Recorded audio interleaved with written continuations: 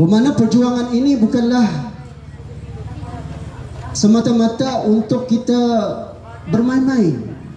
Perjuangan ini adalah untuk kita mengangkatkan martabat khazanah Melayu kita. Kita tidak mau orang Melayu menjadi Korea dan kita tidak mau Melayu menjadi Jepun. Kenapa jadi Korea? Belajar taekwondo. Kenapa jadi Jepun? Belajar karate. Sedangkan orang Jepun dan orang karate belajar silat untuk orang Melayu.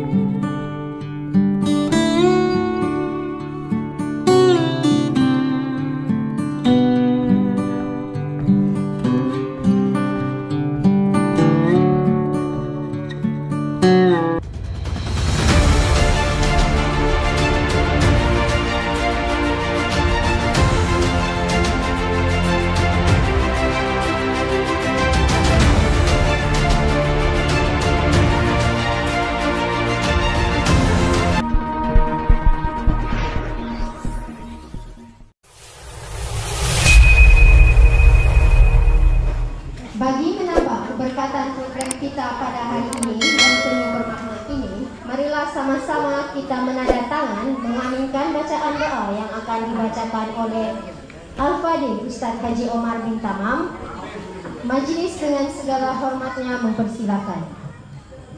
Al-Fatihah. Auzubillahi. Bismillahirrahmanirrahim. Alhamdulillahi rabbil alamin arrahmanir rahim maliki yaumiddin. Iyyaka na'budu wa iyyaka nasta'in. Assalamualaikum warahmatullahi taala wabarakatuh. Waalaikumsalam. Alhamdulillah Syukur kita kepada Allah taala dengan limpah dan kurnianya yang diberikan kepada kita. Dapatlah kita bersama-sama pada malam ini untuk mengenali antara satu dengan lain. Yang berbahagia, yang saya hormati anak anda saudara Raim Jalani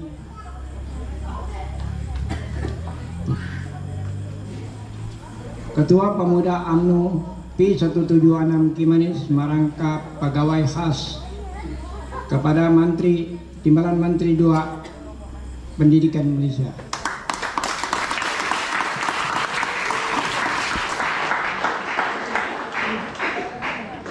Terlebih dahulu saya ucapkan terima kasih karena sudi datang pada malam ini untuk na- kemungkinan terus meresmikan upacara yang ada pada malam ini. Yang berbahagia pengurusi sini silat gabungan. Borneo Tuan Guru Kasim.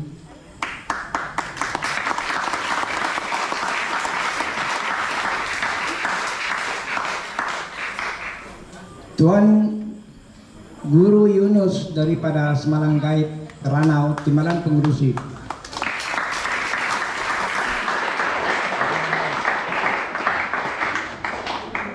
dan guru-guru wakil-wakil daripada wilayah Persekutuan Labuan,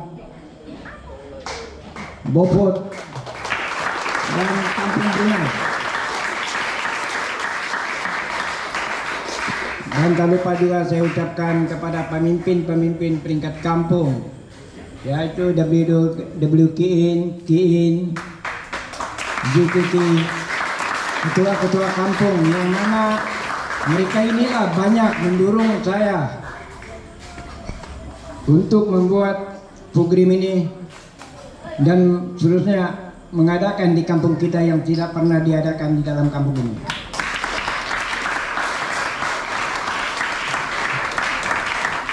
Dan kali juga saya ingin mengucapkan berikan terima kasih semua yang menyumbang. Ah, baik dalam segi tenaga atau uang ringgit atau impe saya tidak dapat sebutkan satu persatu nama mereka.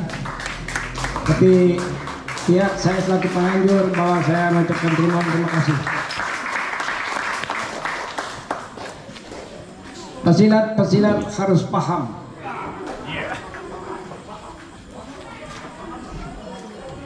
ilmu persilatan tidak mengenal suku kaum apa jua yang berada di dalam negeri Sabah atau di Malaysia umumnya. Semua memiliki ilmu persilatan.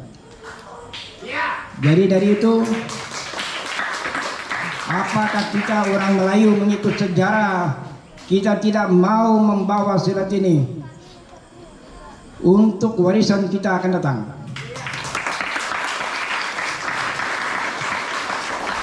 Kita tidak mau orang Melayu menjadi Korea dan kita tidak mau Melayu menjadi Jepun. Kenapa jadi Korea? Belajar taekwondo. Kenapa jadi Jepun? Belajar karate. Sedangkan orang Jepun dan orang karate belajar silat untuk orang Melayu.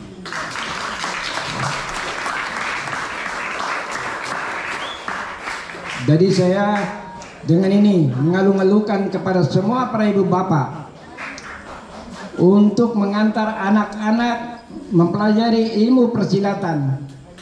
Tidak kira siapa juga yang mengajar dan tidak kira siapa juga guru. Untuk masyarakat akan datang selepas kami nanti. Jadi di sini saya tidak mengambil panjang lebar karena masa kita terlampau singkat. Uh, memandangkan Walau macam mana pun sekali lagi saya ucapkan terima terima kasih pihak keselamatan yang memberi kelonggaran untuk kita mengadakan upacara ini. Dari itu saya sudahi sekian. Wassalamualaikum warahmatullahi taala wabarakatuh. Terima kasih pengurusi majelis yang mana suaranya lemah merdu pada malam ini. Yang berusaha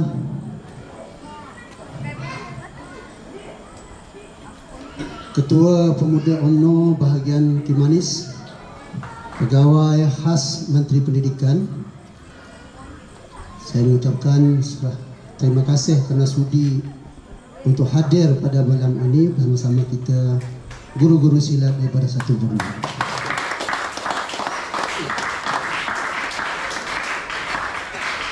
Ketua Kampung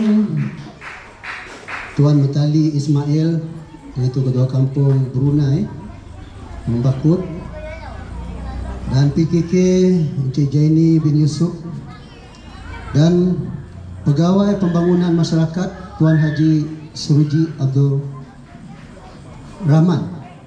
Rahman. Dan saudara-saudara seperjuangan saya ayahanda ayahanda kekanda-kekanda saya dalam seperjuangan yaitu yang mulia Guru Yunus Dipal daripada perguruan pencaksilat Semalang Gaib Ranau Sabah Guru Madi sebagai tuan rumah kita pada malam ini daripada Klub Silat Olahraga uh, Pekalungan membaku. Dan kepada adinda kita Guru Azri bin Ahmad daripada perguruan Cengkam Harimau Gaib wilayah Labuan serta Guru Malik dan guru-guru yang hadir tidak tidak sempat saya sebutkan di sini dalam pau banyak. Jadi saya mengucapkan terima kasih atas sambutan pembentukan gabungan seni perguruan satu Borneo yang kita adakan pada hari ini. Seperti mana yang dikatakan oleh Guru Madi tadi, kita tidak mau Melayu ini masuk Cina dan masuk Jepun. Dan sebelum saya meneruskan ucapan saya pada malam ini, Bukan kacang sebarang kacang, kacang melilit di pohon jati. Bukan datang kami ini sebarang datang. Tujuan kita adalah silaturahmi. Alhamdulillah syukur kepada Allah Subhanahu wa taala dengan rahmat Allah Subhanahu wa taala kita dapat berkumpul pada malam ini. Dengan izinnya kita sama-sama untuk berkumpul pada malam ini adalah tujuan untuk silaturahmi dan mengeratkan silaturahim melalui pergerakan persilatan iaitu seni persilatan khazanah Melayu kita yang ada di Pulau Borneo ini. Walaupun pada masa ini kita hanya mengumpulkan sebilangan sahaja daripada perguruan-perguruan yang ada di Sarawak, di Brunei, uh, Labuan dan Sabah. Kita berharap kepada Allah Subhanahu Taala semoga orang Melayu kita ini sedar untuk mempertahankan khazanah kita orang Melayu. Di mana tujuan dan matlamat kita sebagai untuk menggabungkan sini silat ini untuk makluman kepada tetamu kita. Kita telah merancangkan program ini daripada tahun 2016 sekarang ini dah masuk 2022 bermakna 7 tahun lah kalaulah saya ini berkahwin sama orang di Sabah berapa sudah umur anakku. Jadi Bagaimana perjuangan ini bukanlah semata-mata untuk kita bermain-main. Perjuangan ini adalah untuk kita mengangkatkan martabat khazanah Melayu kita. Kalau kalau orang Jepun ia mengetengahkan permainannya itu pemain samurai ataupun karate. Kalau orang Cina ia menggunakan taekwondo dan kungfu-nya.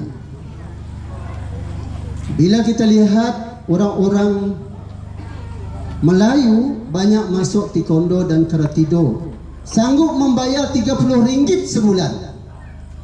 Tetapi orang Melayu bila masuk silat 5 ringgit sebulan pun susah.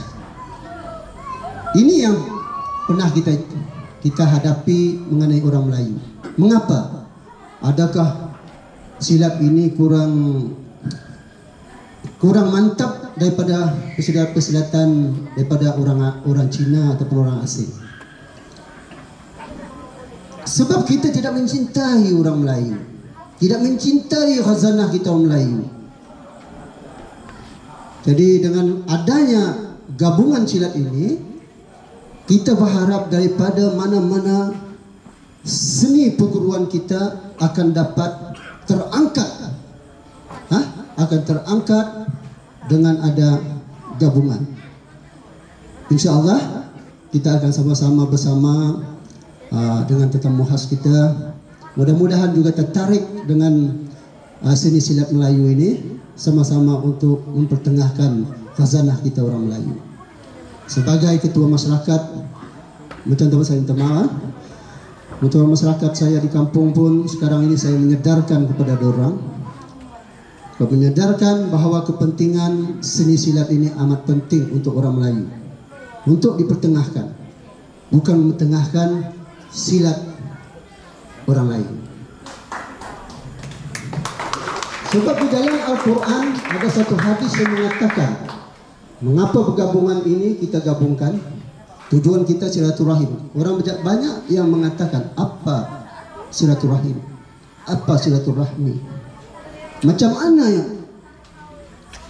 Kita mendapatkan infak yang baik daripada silaturahmi dan silaturahim. Kita mendapat beberapa dalam Islam kita. Dalam hadis mengatakan kalaulah kita ini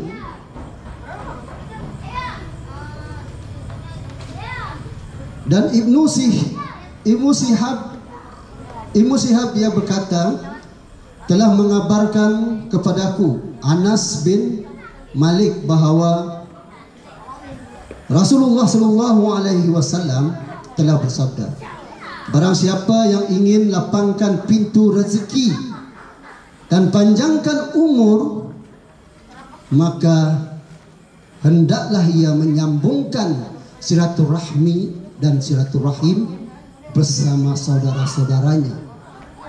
Ini sudah menunjukkan bukan saya bercakap tetapi Allah telah memfirmankan. Jadi sama-sama kita mengambil amal dan ibadah kita melalui silaturahmi dan silaturahim.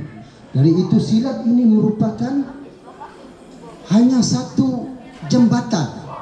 Jembatan untuk kita menitikan silaturahim dan silaturahmi kita. Okey, saya tidak akan bercakap panjang sebab ada lagi yang ingin berucap. Jadi itu saja yang dapat saya sampaikan pada malam ini insyaallah. Assalamualaikum warahmatullahi wabarakatuh. Terima kasih uh, pengurusi majlis, adinda saya, adik sepupu saya, dan saya hormati pengurusi penganjur Pak Cik Madidullah yang begitu gigih dan bersemangat malam ini. Berikan tepukan yang gemuruh.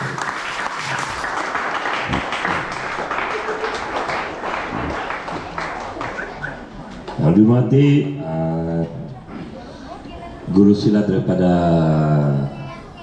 Guru Kasim. Selamat datang ke Kampung Brunei ini. Semoga kedatangan guru dapat lagi menyemarakan lagi semangat anak-anak kita di Kampung Brunei ini khususnya. Semua guru-guru silat, kepimpinan masyarakat, JKK Nizam, KK Pecah Matali, WK Pecah Latif dan juga Pecah Kanak serta pengurusi KRT Kampung Brunei satu yang baru saya dilantik. Anak-anak semua yang saya kasihi Alhamdulillah pada malam ini kita dapat bersama berkumpul. Sentiasa apatah lagi apabila melibatkan anak-anak kecil uh, remaja-remaja belia-belia. Semoga apa yang ilmu silat yang kau pelajari seperti padi semakin berisi semakin tumbuh seperti kata-kata uh, Piramli dalam wayang Laksamana Dur ini Putri Buli Betung baik apa yang kamu pelajari baiklah jadinya. Kalau tidak baik tidak baiklah jadinya. Jadi saya harap saya percaya saya yakin percaya didikan-didikan guru-guru di sini dapat melahirkan uh, tokoh-tokoh silat uh, apatah lagi mewakili uh,